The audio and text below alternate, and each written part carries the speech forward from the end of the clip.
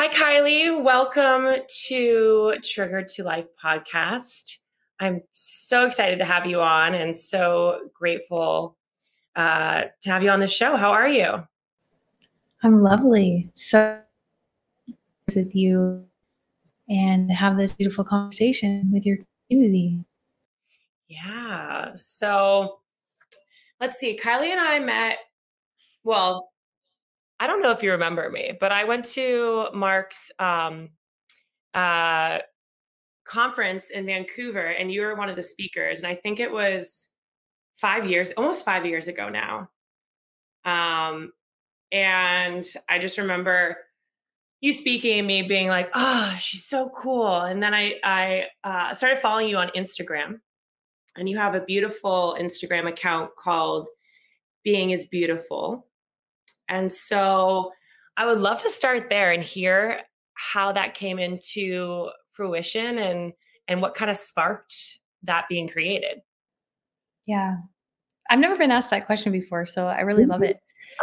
um, so being is beautiful dropped into my orbit and awareness when I was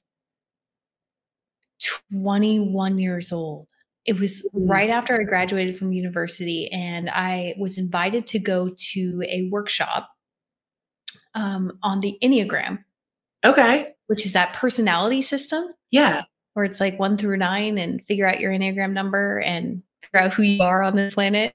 And at that time of my life, I was I was really quite confused. Um, and because of that confusion, I really, really wanted to know. Like I had this deep ache mm. around the question of like, why am I here?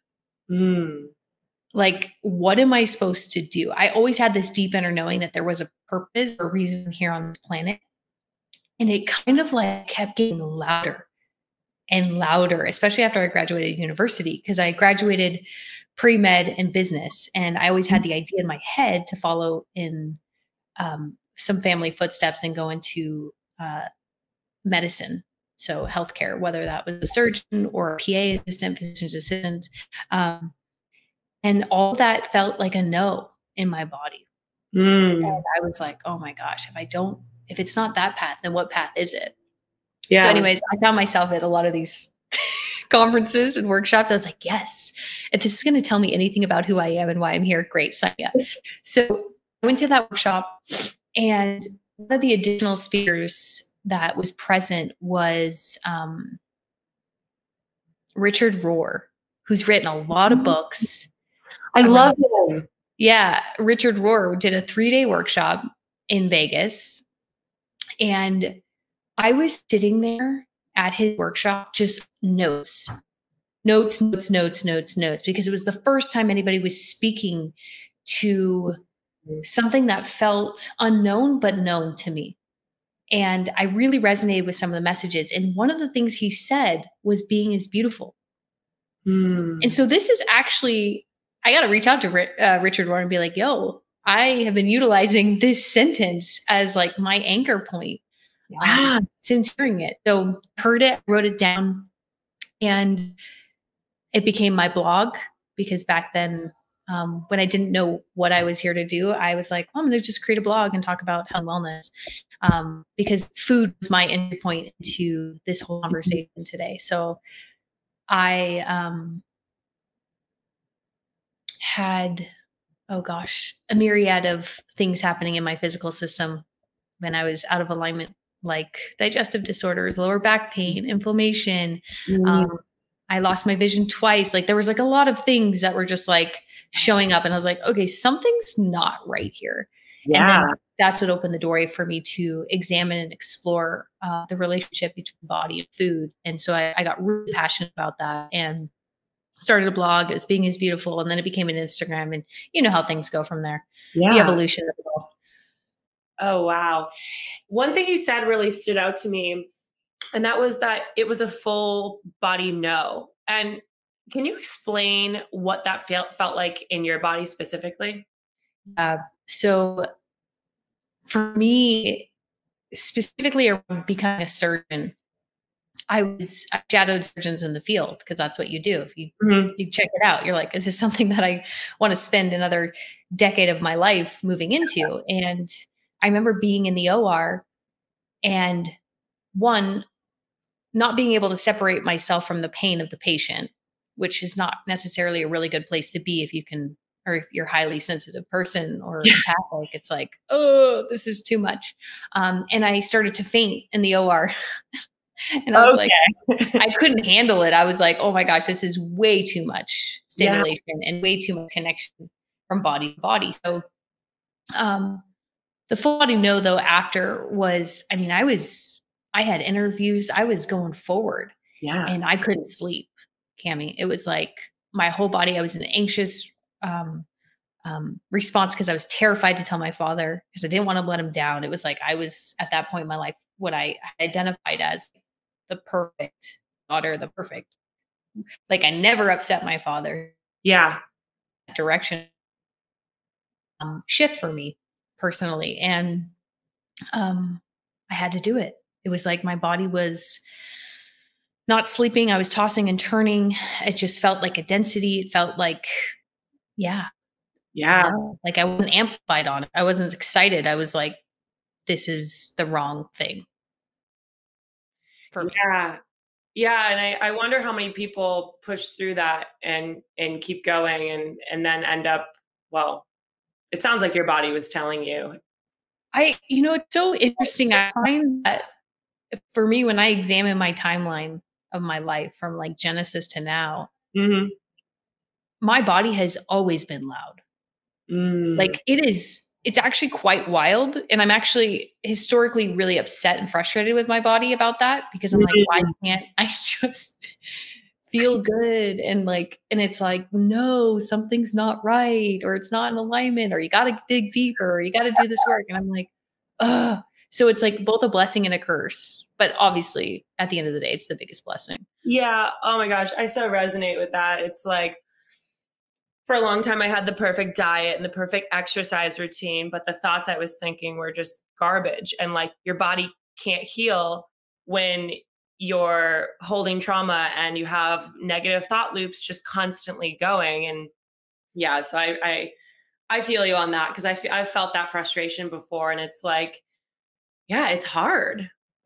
Yeah, and I think under I think women specifically, and I I'm just going to speak to to women because in my experience and it's my can understand and relate to is we usually take the symptoms or things that are happening in our bodies and, and make it mean that there's something wrong with us. I mean, marketed that way all day long.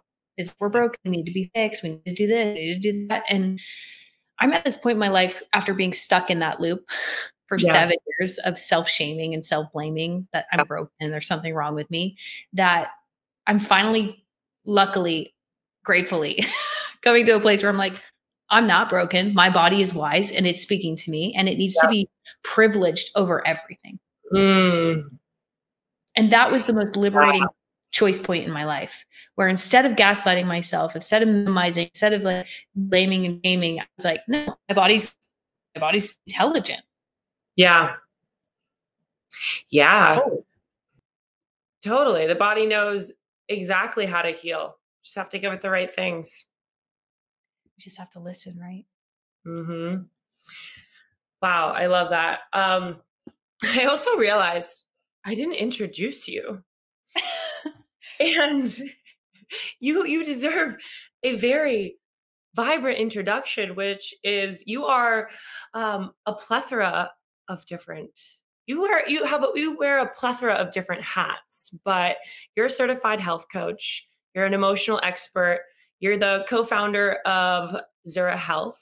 You also have your own podcast you're a speaker and a writer um, and i've had the opportunity to work with you in creating a no man container which we'll get into but i just wanted to um, introduce you because you are so special and and I feel like you're the type of person that follows the current. And so you may have been those things in the past, and you may be going along the current to become other things in the future. But for now, that's that's a part of who you've been and where you're going. Yeah, I appreciate that Yeah. caveat. Yeah. as as somebody who's constantly following the current and going deeper into myself and the layers of Yeah.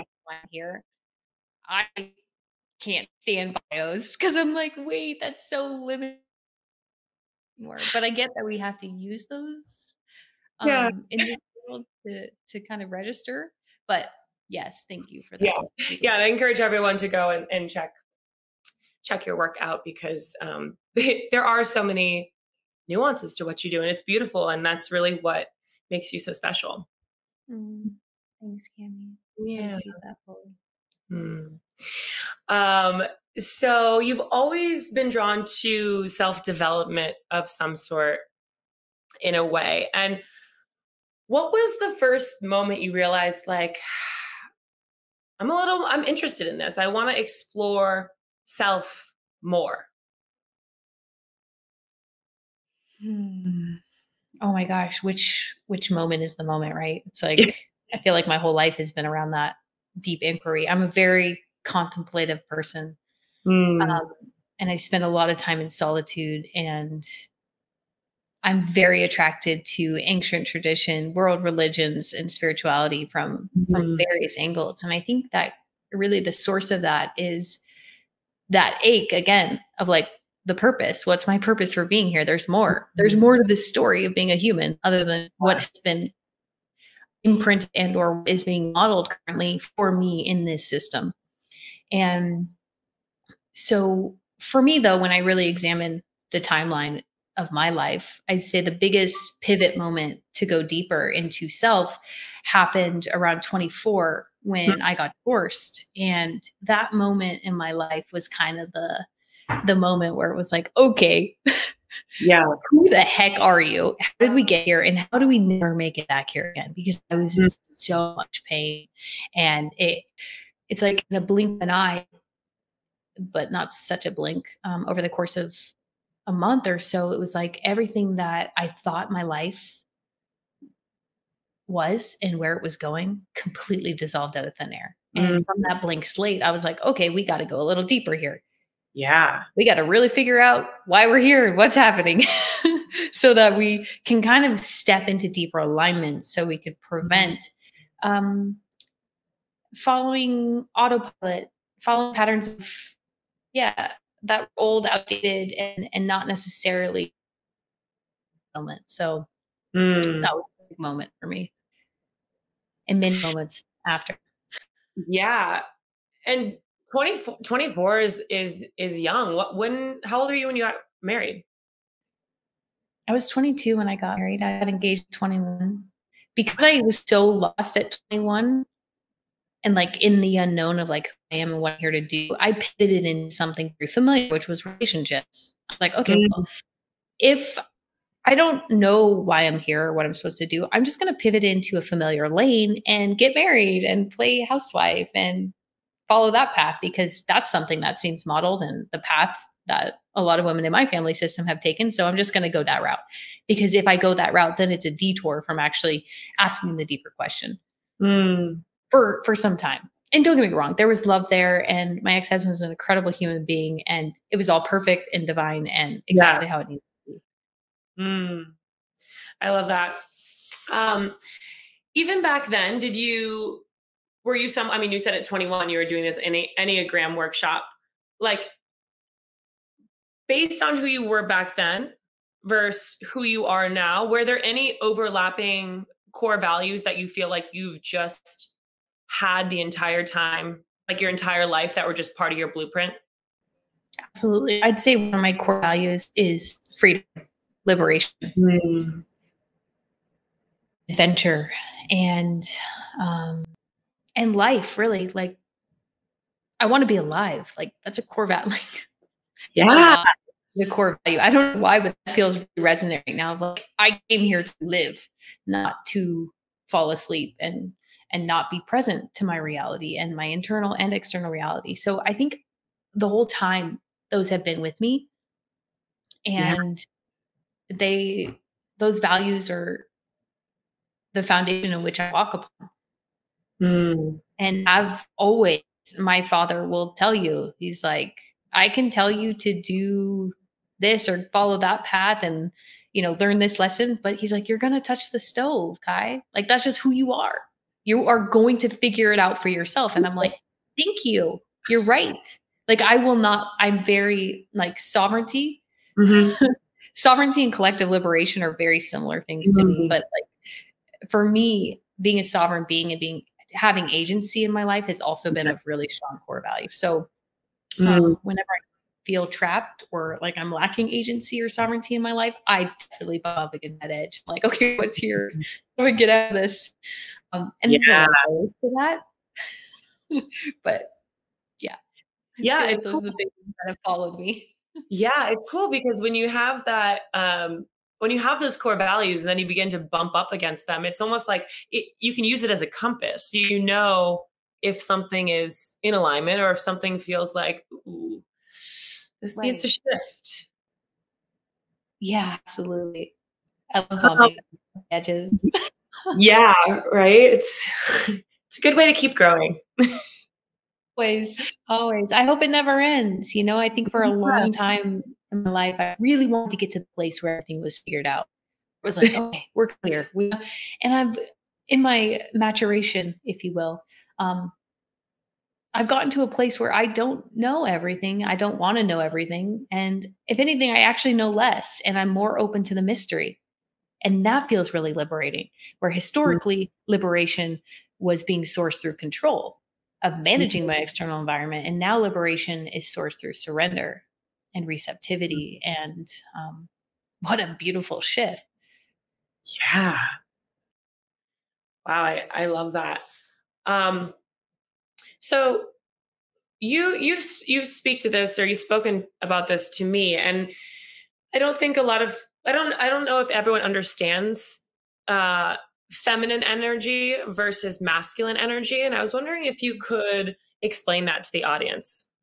Yeah, so there's a lot of literature on this and I and I haven't spent actually a lot of time but as as I kind of do more of my work and and more of my purpose is revealed to me at this time, um, I am here as a steward and protector of the feminine principle, and mm. what that act, what that means to me. So for for feminine energy, feminine principle, what that means to me is body, flesh, soul, Mother mm. Earth, sustainability, um, sensuality, sexuality, mm-hmm. uh, being, like in our beingness, uh, yeah. solitude, reflection, non rational realms. So, like, um, visioning, uh, mm-hmm. creativity, like all of those are part of the creation. Those are part of the feminine principle for me. Mm. The masculine principle is is a beautiful principle that has been deeply distorted. Both of them have under the colonial capitalist patriarchy that we've been living in for thousands of years. And I'd say that the masculine principle in its essence is is the action is the protection is the structure is the container is is the embodied sense of safety is um, is it's what listens to the feminine principle and makes it happen mm. and prote- like it's the deep honoring the deep reverence for life um, mm.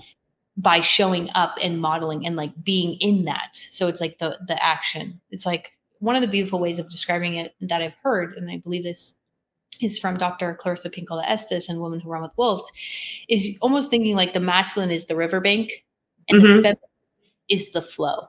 Mm. And so the masculine really creates that safe container. Yeah. So it's like boundaries. It's, it's like the action creates structure and container. So um, that's how I relate to them. Mm-hmm. Um, I think the distorted masculine um, right now, currently on this planet, looks like domination, control, mm-hmm. uh, the degradation, exploitation, and extraction of the feminine principle. And mm-hmm. um, that's why I think we have a lot of work to do is to examine how how our own inner masculine treats our own inner feminine. Mm. So I want to mention that the inner masculine is like linear logic, like mind. That's yeah. very masculine.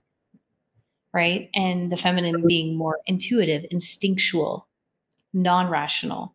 Mm. Um, and and for me, a big kind of aha moment around this piece was was projecting a lot of anger or or the external systems that we live in and how the feminine has been treated on this planet. And then I yeah. sat back and I'm, oh my gosh, I do it to myself. Like I have an inner patriarch that's in here shaming, blaming, telling me I'm too much, telling me my like gaslighting my own instinct and intuition. Gas like it was just like, oh, I actually have to go in to to to heal this fracture yeah. before I can even expect it to be healed in the world around me or in my close relationships. So that was that was fun. Yeah, um, yeah, I definitely want to get into that a little bit because um, I well, from what you've explained, the no man container to me as is like, yes, you are observing all of those, all that dialogue, that masculine, you know, thought process, right? And that is affected by from the patriarchy, right? Like we take on those beliefs because they exist in our society. So, can you tell us a little bit about the no man container? Who introduced you to that, and um, why it was kind of heartbreaking? Yeah. Oh my gosh, I love this story so much.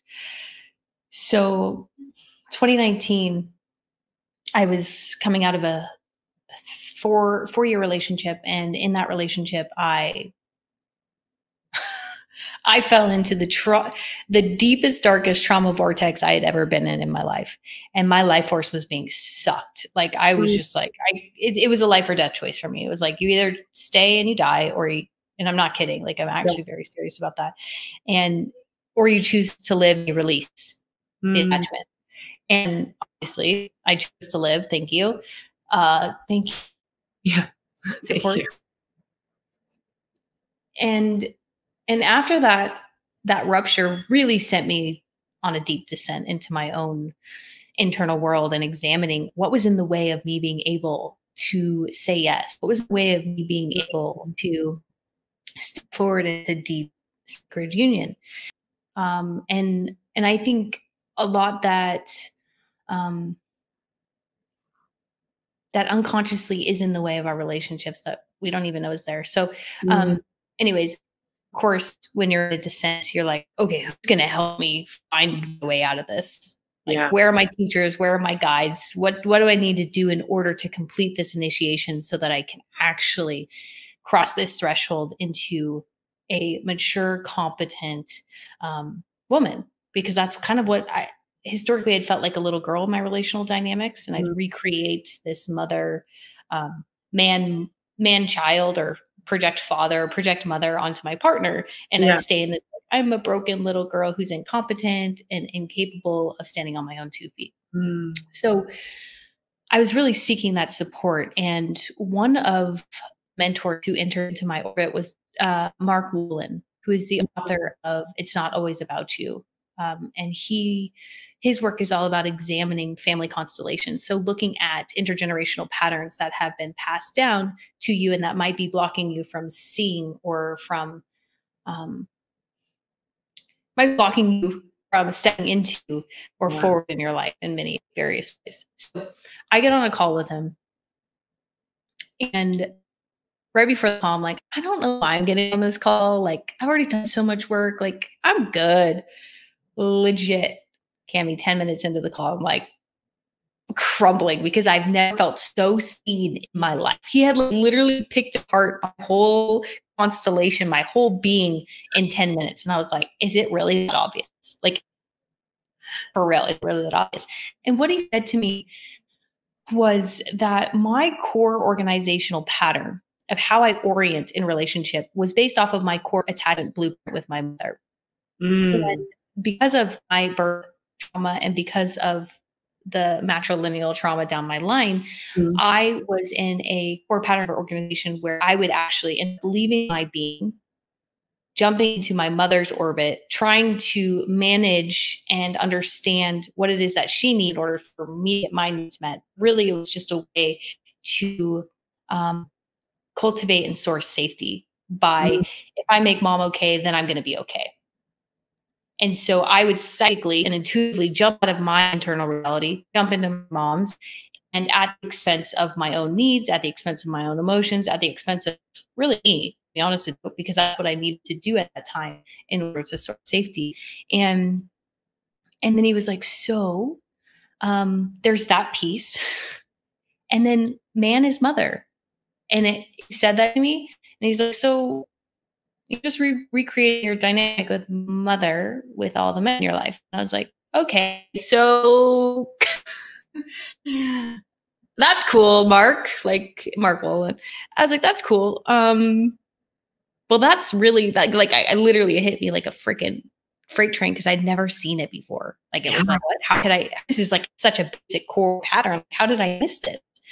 And in examining my pre, this is that this is this is how I've lived all of my life, and I've been playing out this pattern in all my relational dynamics, and yeah, it really hit me. It stopped me dead in my tracks. And basically, what he said was, if you don't do this work, create the container to remove the masculine or men out of your life, I will be on the same call with you in two years. And I was like, okay.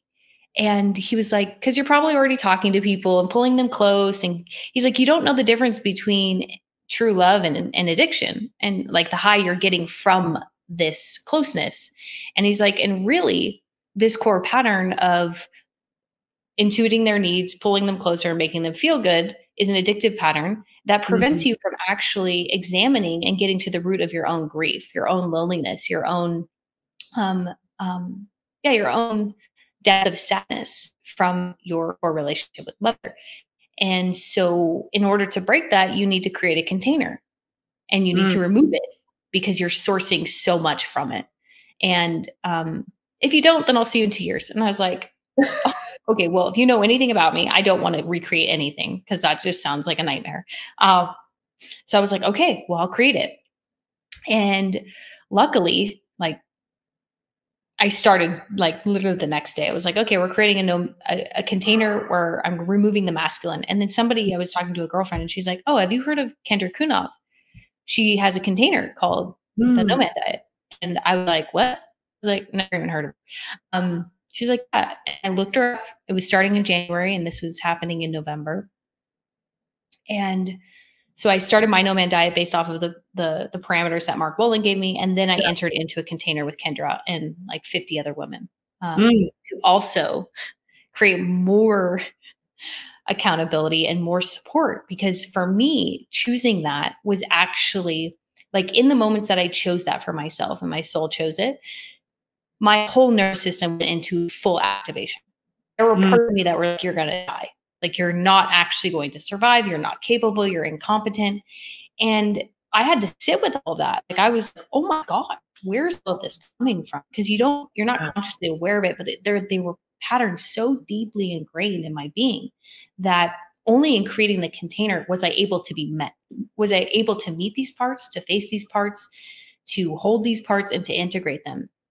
And mm-hmm. I had a lot of support um, from from an somatic experiencing practitioner. So somebody who works with the nervous system on that foundational level to really support me in integrating and creating enough safety and capacity in my system to be able to step forward into this container in a way that felt, um, I guess, manageable. I mean, don't get me wrong, wasn't like at times I was like full shutdown, like trying to find some regulation because I was I was sourcing so much of my regulation from my interaction with men. Like I was mm. regulating my nervous system through those connections instead mm. of actually self-regulating because I didn't have that. I didn't have that emotional capacity because it had never been modeled. Remember, because I'm leaving my internal system and managing yeah. my mother instead of actually learning the opposite of like how to manage my experience because she never learned, you know, right? The yeah. this is the old, old pattern that kind of carries through our lineage. So that was the creation of that. Wow. So I'm curious because as you change, did you force, does your mom like energetically have to change because you are no longer supporting her emotions?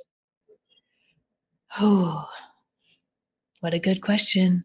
Um, you know, there's so much here in this conversation that has to do with mother and the mother wound and what I have traveled through our matrilineal lines between mother and daughter. So for me, as I started to step into more sovereignty um, and started to step into more agency, I actually was triggering unconscious rage and grief that my mm. mother didn't even know was there mm. from not necessarily having choice or agency in the way that I was exerting choice and agency in my life. And because I was the one who looked like the cause of all that pain and unconscious rage, yeah. it was at me. Mm. And mm. Um, for me at that time, I was working with a psychotherapist. This is before setting the container yeah of no man diet and the rupture um, and he basically said like you're at this point in your life where you either choose mom and the relationship you have here or you choose love mm. and he was like because this is toxic and yeah. this, these can't go together yeah. and i was like uh you know little girl it's like in like that's core attachment that's like there's no way um, yeah but it was like very clear to me like, I am willing to lose my mother mm. to protect myself and step forward because what I want is liberated What I want is healthy relational dynamics. What I want is mm. liberation. What I want is freedom. And, and if I have to lose my mom at the expense of that, that's okay. Mm. Um, luckily, luckily, and I'm very blessed, and this is not everybody's experience, my mom came along for the ride. My mm. mom has done a lot of work. We have healed our attachment. We have healed our relationship. We've talked about patriarch. We've talked about her lineage. We've talked about the messaging. We've talked about all of it. And I'm really like, I'm kind of blown away by how mm-hmm. much shifts when one person chooses to step out of the dynamic and is like, I'm no longer going to relate or play this game in this way. I'm no longer choosing this your choice now. You stay there and stay in that, or you come along. It's going to hurt because there's a lot there. But yeah. that comfort is liberation if we have the support and tools to move through it. So, um, yeah, that's that path specifically between mother and daughter will look different for everyone. Yeah. Um, but for me, it looked gnarly at one point, and now it looks like, oh, finally, we have a relationship where we're relating adult to adult. Mm-hmm. Wow. Yeah, like I I I can imagine that's a really hard decision.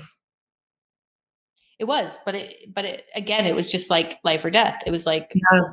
you stay enmeshed in this dynamic mother and you stay here forever or you break the rule, you break the pattern, you break the cycle and you step forward. And mm-hmm. and that's the choice. Like you don't know what's on the other side. I didn't know what was on the other side. Yeah. I had to fully surrender and be like, okay. And I've did a lot of work in the like, I'm such a woo-woo person. I love it. And I don't care anymore um what other people think of me. But I was like talking to listen, I have a purpose for being here. You played a very important role for me on this path. I really want you to come with me because yeah. I love you and I think you're incredible. Like, and I think you're you have so much power. So like, I need you to buckle up. Like, yeah. Like, and and you know what, Cami? I don't think I've ever shared this. I had a and know anything about my story. Most of my story and journey is um is seen and related to through dream time for me. So I'm very mm-hmm. Much in my dream space. I get a lot of messages, a lot of a lot of clarity in that space. And I was having a dream where I was carrying my my mother and she was mm. frail. And this was during my no man diet container. She was frail and she was like like bleeding out basically. And I was begging her. I was like, tell me the truth, tell me the truth. And we're being chased. And I woke up the next morning from this dream like shook because it was like one of those dreams where like, there's a message here. It's very, very clear. And so yeah. I it because at that time my mom and really talking much. It was like yeah. very this. Um, but it was it was getting to the point where we were both opening to like have a real conversation about what the heck just happened in the last 18 months. Um, I sat with that dream and it moved a lot out of my system. Like I had to purge energetically. I, I was carrying a lot of shame, um, toxic shame that wasn't mine to carry. Like the belief that I was broken and unlovable, coming mm-hmm. from the fact that that the women in my lineage weren't mothered in a way that made them believe they were good or worthy or valuable. So I sat with that dream and I let it work its way through me. And eventually I had like my mom, like four weeks later, we had a she called me or I, I was on a walk and it was like, call your mom. And so I did. And I was like, hey, like, what's up? Cause she was in it. She's deep. Cause I can imagine when somebody shifts in the family system, I mean, it, it sends off everyone's stuff to the surface. Yeah. Um, she was choosing to sit with it. And I had a conversation with her. I told her about the dream. I was like, yeah, mom. I was like, I had this really vivid dream. Like, what aren't you telling me? Like, there's more here. Like, and yeah. it's time. And she shared some truths that completely recontextualized my life, recontextualized mm-hmm. the recontextualized everything. And mm. it was the first moment where I was like, one, I see you. 2 mm-hmm. think three, I'm sorry. Like it was like it like it makes me emotional. I haven't talked about this. Um mm. it was the first time where I didn't see the I didn't see the result of the wounding. I saw the wounding. Mm. And it mm. was like, oh, that all makes sense. Thank you for supporting me and understanding all of this because now I can move into more compassion and we can move into more intimacy because we're not we're not hiding things anymore. So that was a lot. Yeah. Did did you feel in that moment like that's when the like you jumped like did you feel like the healing occur in that moment and you're like, okay, this is the healing I'm looking for? Yeah. Yeah. yeah. I mean, it, it, it, had occurred in pockets. Yeah. The rupture. Because remember, like when man is mother, and that's the attachment that ruptures. What it really is rupturing not only the connection with the partner, but it's also rupturing and making you examine your core relationship with mother. So for me, that was the descent. It was like actually to the core foundational blueprint of my attachment system, which is mm-hmm. why it's so terrifying to release it. Because it meant I had to go into it and grieve mm-hmm. from the sense. I've never explained it in this way, but um, it was the death of all of my survival strategies, yeah. all of my identities that were still associated to that attachment bond that needed to dissolve, that needed to be integrated, that needed to be held. Um, so yeah, pocket for sure. I remember I sent a boundary letter right after, and I was like, "Here are my boundaries," and I was so fierce, Cami. I was like, nobody will tell me this nobody like i and i was like very kind but like very clear like yeah. do not cross this line and my mom love her and i hadn't talked to her in like a year probably and be deeper wow. with of course like here's support i was like how dare you act so kind it was just like and you know to be honest with you at that moment i didn't trust her i was like yeah. i don't that. I was like, you got to earn my trust now. Yeah. So luckily, I mean, you know, there's so many things happening on all different layers of this human experience that luckily, you know, the seeds were planted and and it was, you know what it took? It took me standing in integrity with my truth of like, I will no longer tolerate this, this, this, this, this with yeah. you, with men, with anyone. Mm. Like I've done all these codependent and mesh dynamics where I have to sell myself or I have to abandon myself in order to get my needs met or in order to in order to have love. It's not it's not love. Yeah. Yeah, it's so beautiful to hear you eh, like illustrate how dedicated you are to your truth. Oh man. You know why? I, it kind of circles back to the beginning of the conversation. If I'm not my body, I mean, literally, if I'm not, my body will completely throw me. I mean, it'll let me know if I step out of alignment with my truth. Like, it's actually to the extreme where if I step out of alignment with my truth, or if I'm asleep to some dynamic that I need to like a deep unconscious and I move into something of that pattern out of that survival strategy, my body goes into a full trauma response. Mm. Like full activation, full shaking. Like that's how deep it is for me. Like if that's why for me, it's actually a non-negotiable. I can't actually step out of alignment because I will be sick. And I Mm. I don't want to be sick. You yeah. know? Yeah. Well, it's it's you know, I work with people all the time and you know, a lot of people can heal when they change their diet, but a lot of people it's deeper than that. And the diet is that like you said, the entry point into other modalities and and you know, different ways that may be uh holding you back from healing, right? And so it's it's so interesting how the body speaks to you in so many ways. So many ways. Yeah. One of the biggest questions I get is how do you know the difference between trauma and intuition? And I'm Mm. like, okay, I wish it was that black and white. It's not. And Yeah. um to be honest with you, if your body's communicating it to you, it's for me, I privilege it as truth. Even Mm. if it's coming from trauma, it's still true. Mm. There's a reason it's coming up. Yeah. Don't minimize it. Don't make it mean less than. I've done that. It doesn't work. It's like, okay, let's bring it to the surface and acknowledge and witness this part or whatever is true in that moment. We have Yeah. to validate our Yeah. own experience before we can even come out of it. So, for all of you who are asking that question, I see you. I've been you. I love that. That's a really good question. Um, so, if people are resonating with what you're saying, what are some clear signs that like a no man container could be for you? Hmm. There are signs. Um, you keep repeating the same patterns in relationships and choosing emotionally unavailable people. You recreate codependent dynamics. You um, feel unfulfilled. You feel like there's something blocking your ability to receive or say yes to deep partnership and love. Um, you have a mother wound and you need to examine your core relationship with mother and that attachment bond.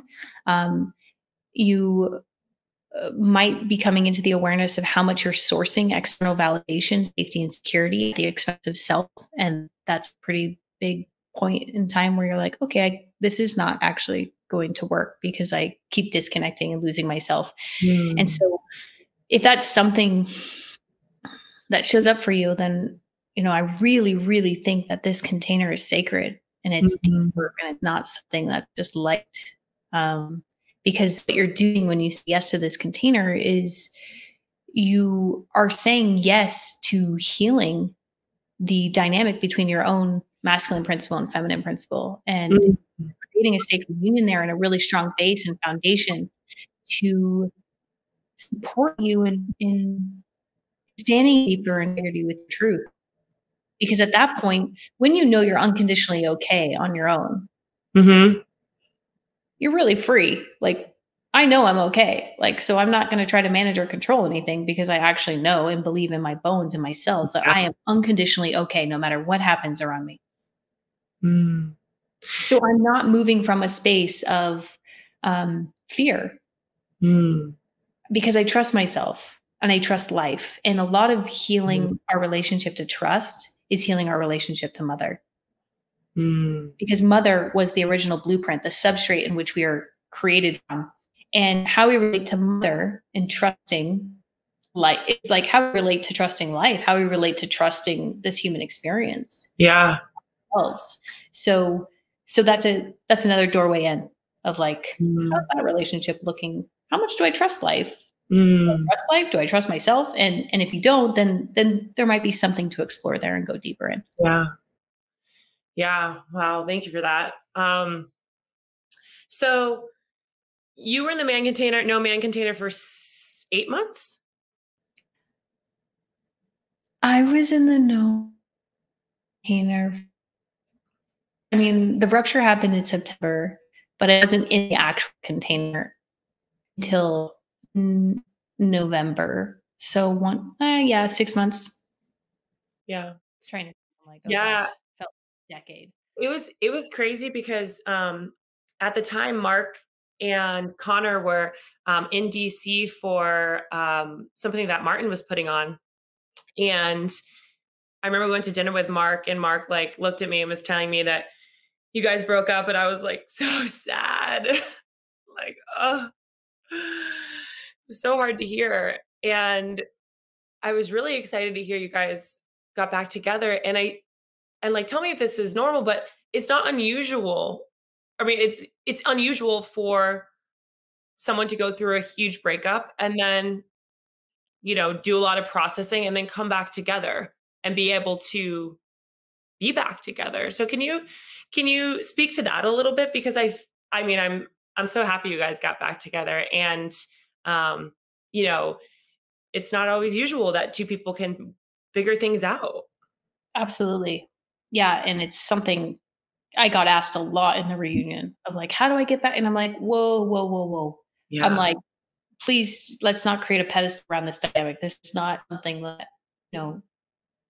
What i said was walk with hope until it becomes true because mm-hmm. at some point in my no man diet container i was so so deeply integrated and in my truth that i remember saying to mark even in the reunion was like i don't know what's supposed to happen in this container with me and you. I don't know if we're supposed to be friends. I don't know if we're supposed to be business. Like, I don't know.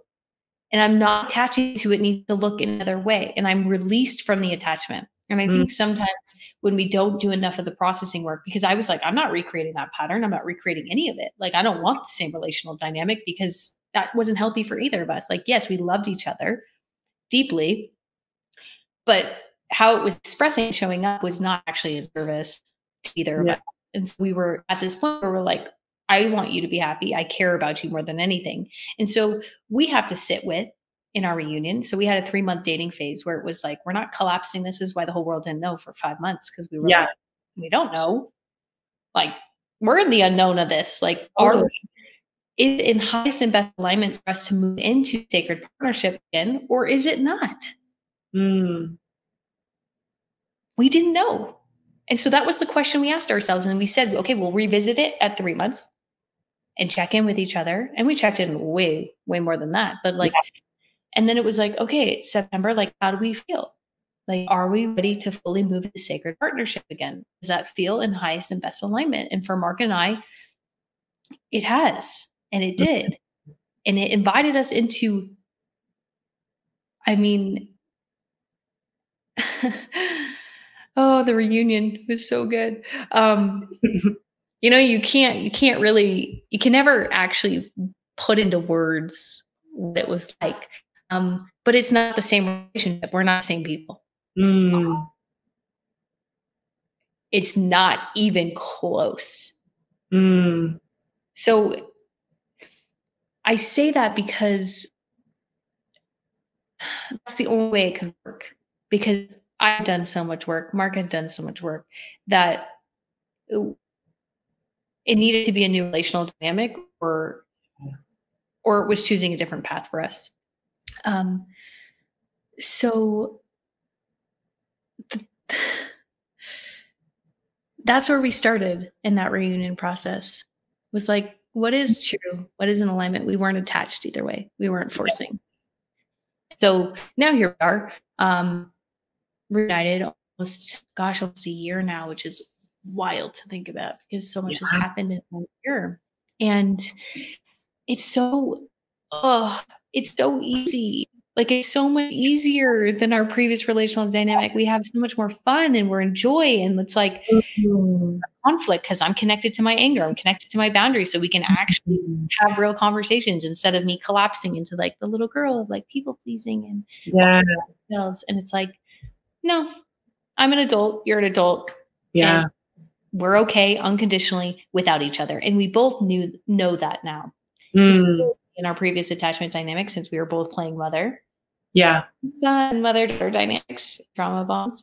Um I didn't actually think we were gonna be okay without each other. Like it was mm. like that deep, or it was like, oh my gosh, yeah. if I lose my because that's the part that was attached. So yeah. if anything, our sacred commitment or contract on this planet has been to liberate ourselves both from our mm-hmm. historical attachment trauma and intergenerational trauma. And I think Mark and I have done, not to say that we're fully healed and fully realized beings, but I, I think that we've done a lot of work to actually create a lot of capacity and space for us to have fun. Yeah. I love that. And just enjoy each other. So it feels really nice. I don't want to idealize that because it was still yeah. hard, deep work. Mm-hmm. but now we're getting to a place where it's like, okay, the foundation is pretty solid. We're no longer in codependent dynamics, so it feels nice. I love that. It's like 2021 relationship goals are like liberating liberating yourself from your from your trauma so that you can be together in alignment with your partner. Seriously, I'm creating a course with Mark on it. Like I'm like, listen, this is this is so important. And it has to come from both sides. And I think mm. I think I'm very blessed in that my partner is deep into the work, mm. obviously. Um, but I think this conversation needs to include the full relationship. Yeah. It can't be one sided. It has to be both people committed. Um, and, and that'll look different in every relationship, what their role stepping yeah. forward and adulting looks like. So, um, yes, I'm here for that intention for everybody on this planet. Please. Yes.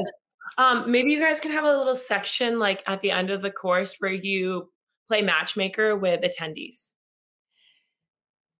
You know what? It's Mark has been told this a lot. He's actually matched a lot of people, which is interesting and funny. Um, I'm so game for that. I think I would think we'd be pretty good. You would. Yeah, I think so. I mean, yeah. And then we'll officiate the weddings and yes. there's our whole business model. Here we are. this is our life's path. You guys could have the dopest matchmaking service. Like that I like this idea. Matchmaking services plus the counseling and or coaching side that supports yes. the couple in moving through all the stuff and then yeah, we're good. Oh my god, like hold on. That the world needs that. the world does need that. I agree. Yeah, we'll see where it all goes. Mark and I are we've been really feeling called to um stewardship getting into right relationship with the land and reconnecting mm-hmm. with Mother Earth and um yeah, really cultivating the masculine and feminine principles within ourselves and and modeling that in a deeper, deeper, more sacred way. Um, as well as stepping into some leadership around that. Like what's that mm-hmm.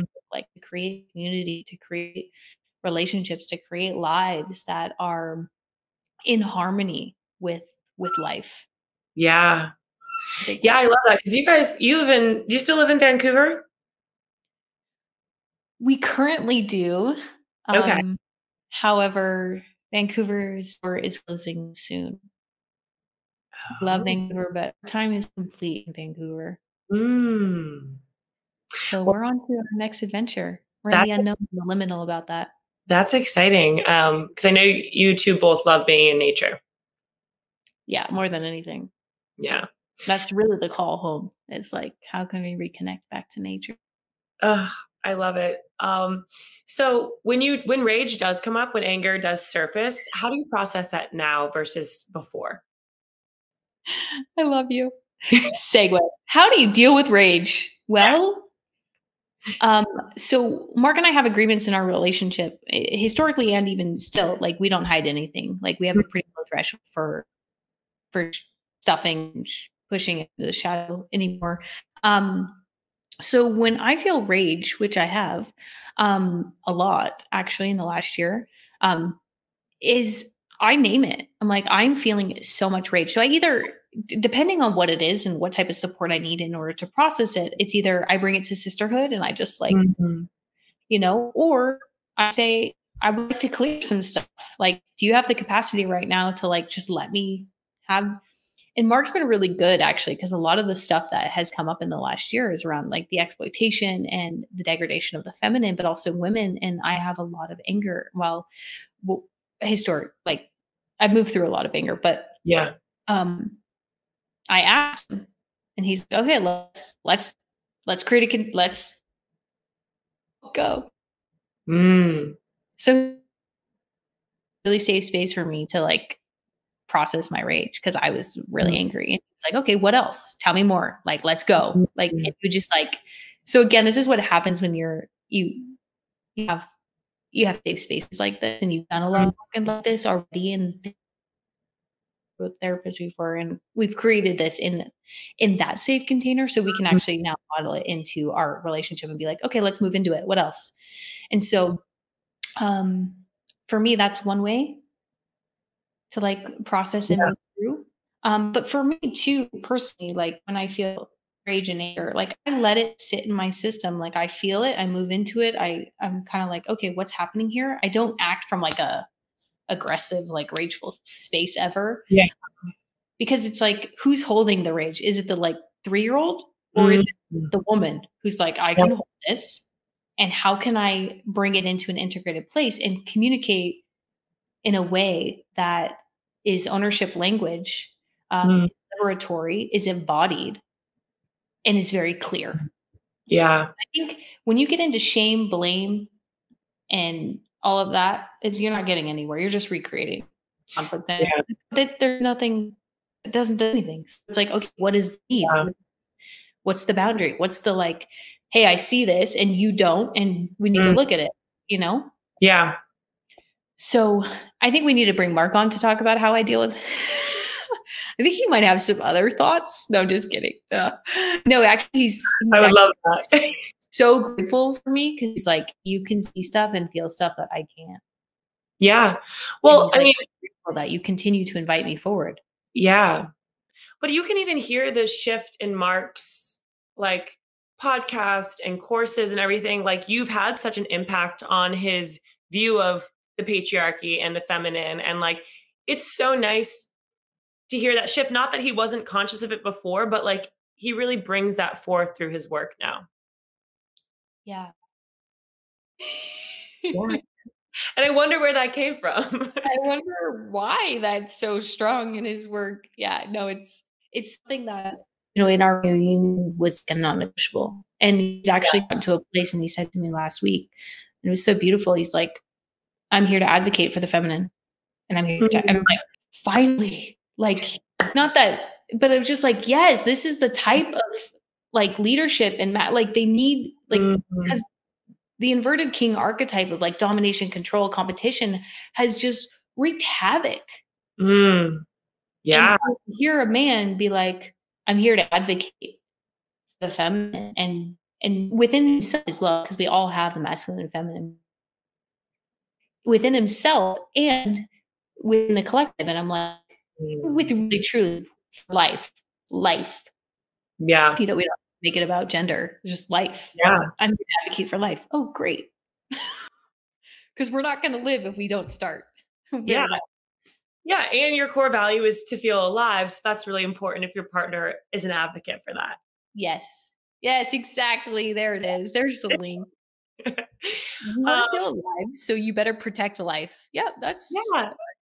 There we sure. go. There we go. So you I imagine you have a pretty um uh you have a lot of rituals or self-care practices that you adhere to to keep your energetic body clear and um just flowing. Can you share with the audience a few of those? Yeah. Uh, you know, I gosh. I feel like I'm in such a, a space of evolution right now. It's so interesting how Mhm. fast things are moving. Um, for me though, I've been deeply called to sitting with tea. So I sit in tea every single day.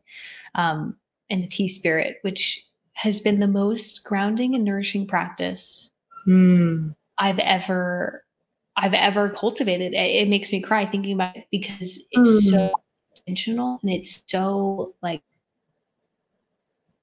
it's just reminding me of of how everything is alive, but also just how important having reverence and in- Mhm. intentionality is when we drink anything. Like it doesn't Mhm. matter if it's cacao, tea, water. Like, can we show up with deep reverence Hmm. um, so tea ceremony has been a really really big piece of my life in the last five months or so um i move my body a lot i like to be in nature i like to move um i take baths i lay on the biomat i i really now i'm at a place where i just listen Yeah. my body need. Historically, I was a little more rigid with that because mm-hmm. because I was my nervous system was in such activation before mm-hmm. that it was like go go go check the boxes, and now I have enough capacity to be like okay. Mm-hmm. What do we actually need? What is going to feel yeah. at this time? So, for me, a lot of ceremony, new moon, um, full moon ceremony. I sit in ceremony with Mark all the time now. Um, mm. It's kind of cultivating that back into our lives within community as well. Um, with my sisterhood, with my family, like I now create environments where we sit intentionally, we have real conversations, but we do it in really beautiful ways. And and mm. like can we game night? Like shut yeah. up the remove the technology, like let's pull a board game. Like mm-hmm. sit on a fire, like let's connect. I love that. Yeah, we forget how how powerful putting the phone down can be. Let me tell you, you want to talk about attachment trauma technology? No, that's for real. Like lack of attunement that exists in our relationships at this time is grief inducing. Mm. There's no presence because we're so addicted that it's like I might be telling you something or I might be feeling something, but you're so here that you're not even attuned. And so yeah. what I'm picking up and what my system is is rejection and they don't care about mm-hmm. right those things can build over time but it's like so that's again how do we create an environment that supports us in getting these needs met we say okay well for dinner there's no no phones or yeah. for an hour a night or for this like i would like to shut off the wi-fi i'd like to drop mm. in. And that's a vulnerable place for a lot of people. Yeah. actually have have conversations. Absolutely. You know i always appreciate that about you. You're like I feel like you wouldn't do something unless you unless you feel aligned to do it. And that goes for like doing a podcast or needing to take time off. And it's such it's so expansive for me to hear because it reminds me to step into the feminine and really listen to what my body's telling me. Crucial. Not easy to do in this system but crucial as yeah. you know we've talked about that. Yeah yeah. Listening listening and that's again that's trusting. That's trust. Do you trust that if you listen and slow down and take space that you'll be supported? Mm. yeah.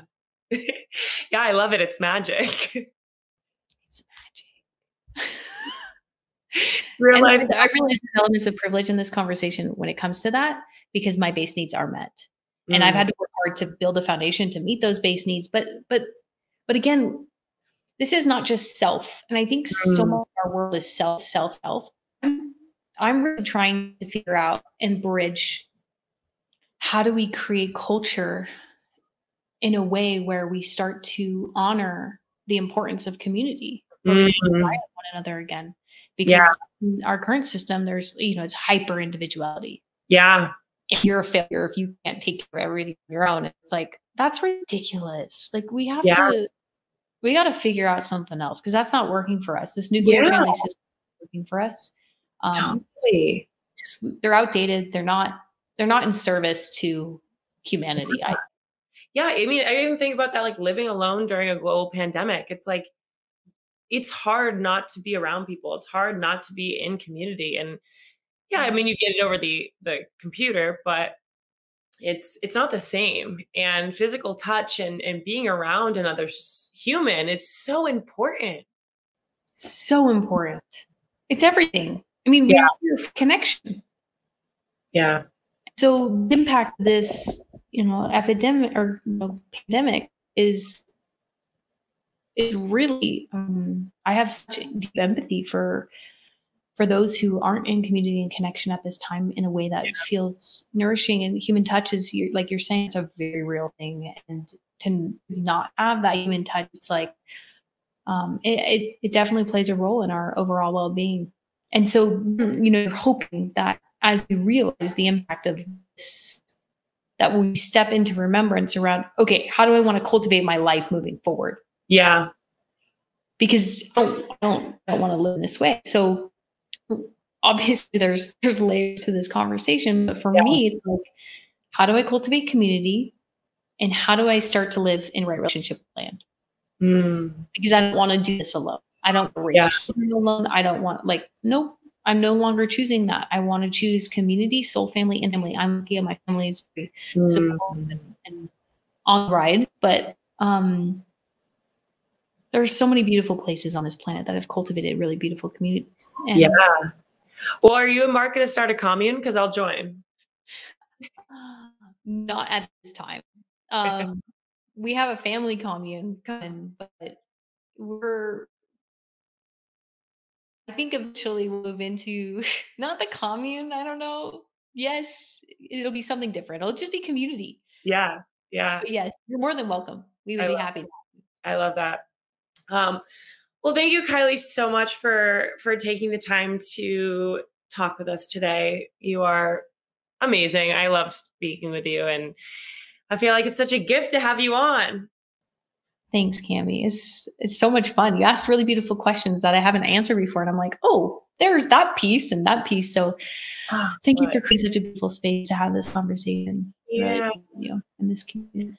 Yeah. Well, where where can people um, stay in touch with you and and um, if people do want to embark on a no man container, are you still offering um, uh, the container for for for people, or or is there another way they can work with you?